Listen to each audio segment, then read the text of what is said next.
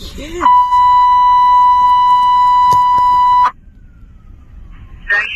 Cleveland Avenue, on illness. EMS